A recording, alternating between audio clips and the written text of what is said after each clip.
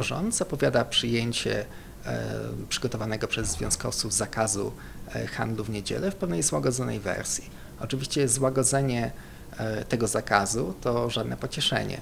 Mówimy o projekcie, który w pierwotnej wersji postulował karanie za otwarcie sklepów w niedzielę do dwóch lat pozbawienia wolności, czyli analogicznie do karania na przykład za dziecięcą pornografię. Mówimy o, o projekcie, którego uzasadnienie nie, nie, nie zawiera odwołania się do żadnych e, badań empirycznych, pomimo że jest ich bardzo dużo na ten temat.